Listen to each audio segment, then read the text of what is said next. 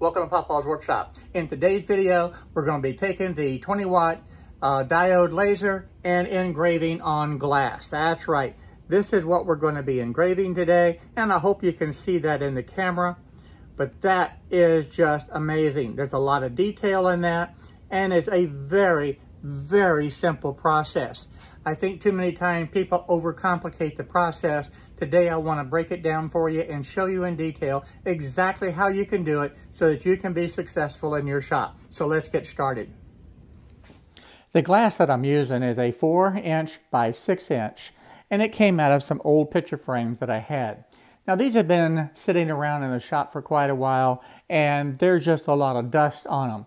So the first thing in the cleaning process, I'm just using some Windex to be able to clean off just the bulk of the dirt and dust and get them eh, basically clean.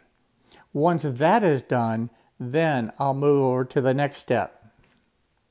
I want to make sure that there's no grease or oils of any kind, so I'm going to use the denatured alcohol and clean the glass again and make sure that it is literally spotless on both sides.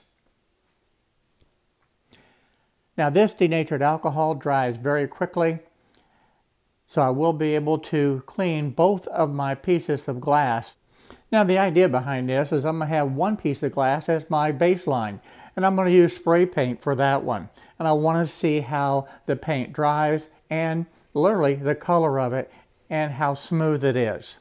The one that we're actually going to be engraving, I'm going to be using tempera paint. And with the tempera paint, I'm going to try just rolling it on with a foam roller. And that'll be the first test. Now the tempera paint that I'm going to use is just some paint that I've had in the cabinet for a while. And this is nothing special. The spray paint is the Rust-Oleum Flat Black Primer that I will use. And we'll engrave this one later. And all I'm going to do is just put it down on the um, board and then I'm just going to lightly spray it and you want a nice even coat. And this technique is used an awful lot throughout the YouTube videos and it's just make sure that you get an even coat.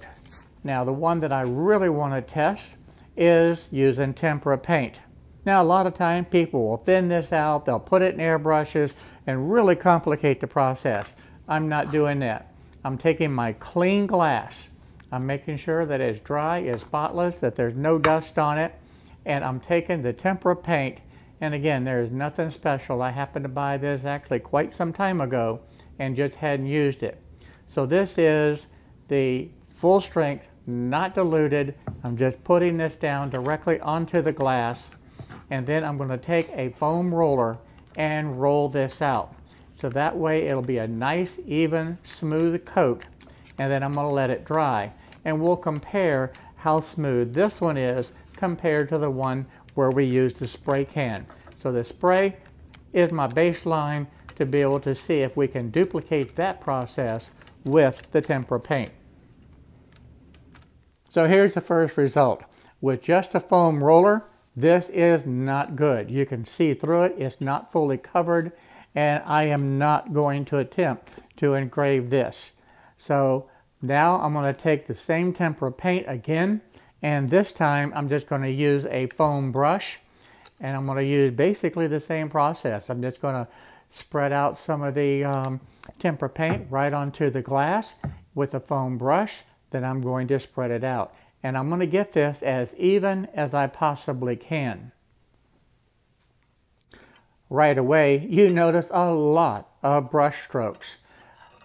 I'm going to get this as even as I possibly can but by coming back with this very light stroke to be able to try to smooth out those brush strokes.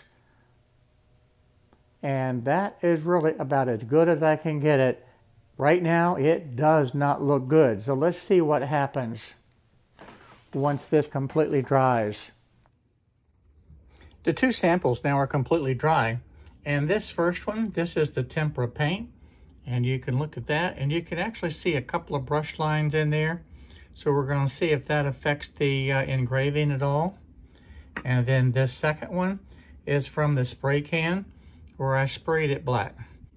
Look, and I don't know if you're going to be able to see this in the camera or not, but if I really had to pick one that was darker or lighter, I would have to say that the tempera paint is slightly darker. But for the most part, the texture is for it being perfectly smooth looks very good.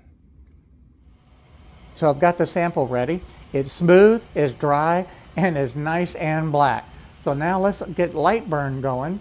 And I want to be able to just pull in a project that I had uh, designed for this. And it's going to be a compass rose. I picked this simply because it had a lot of detail. Very fine lines, very small. It has both some large text as well as some very small text. I typed in the word find your way just to be able to have a larger text. I want to be able to have a good overall idea of how well this is going to engrave. Now this is still small. It's about almost four inches by roughly two inches. And on a piece of glass that's four inches by six inches, that'll be fine. The speed, everybody needs to know the speed. This is going to be done at 30 inches per minute with 60% power, and that's a lot lower power than most people use that I have seen. I do have the air assist. I am using the overscanning for 2.5%. Lines per inch, about 253. So from there, we're just going to hit OK. So that way you have all the settings that I'm using. Now this is the Fox Alien Reizer 20 watt laser. Now I typically use the center point for my origin so I'm going ahead and framing this so I know exactly where this is going to engrave because I did not change that origin point. So I know that it's going to engrave and it's going to fit where I want it to. Now one mistake that I made, I forgot to set the Z height. So instead of being 30 millimeters high, this was about 50 millimeters high and it did not even engrave through the paint. So I went back and did the exact same engraving again, and this is the results. It's perfect. It was able to remove the paint, and with the 30 inches per minute and the 60% power, you really don't need any more. Now I'm going to go ahead and take this over to the sink and get it washed up, and let's look at it. I think the results of this are fantastic that first engraving where I did it, where it was not focused, it barely made a dent. It did not even remove the paint. That was my fault. So I did not change the setting. Initially I was going to increase the power and I said no way. That's not necessary because it did not burn through the paint. So 30 inches per minute, 60% power, worked extremely well.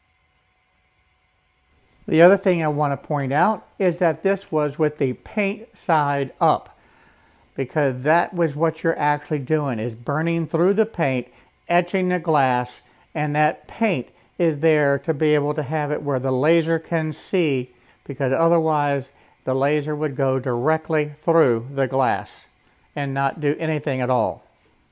Well, there you have it. A very simple process to be able to engrave on the glass using the 20 watt diode laser. and people say it can't be done. Yeah. So to recap the steps, clean the glass. Get that glass as clean as you can. Use tempera paint. It's cheap. You don't need to have it sprayed. And then use the brush. Make sure that it completely covers. Let it dry completely. It will dry smooth.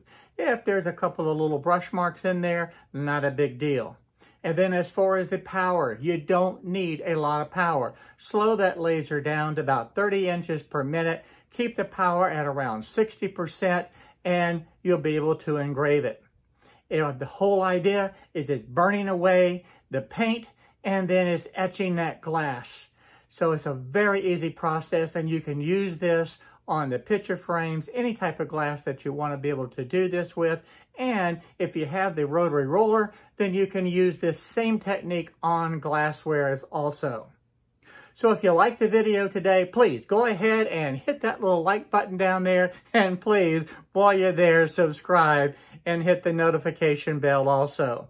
I'm going to be doing some more work with the glass and being able to grave on that. And I'm also going to do some with the acrylic. It's a little different technique, but it's still pretty darn easy. So until next time, I look forward to seeing each and every one of you in the shop on whatever project that I'm working on.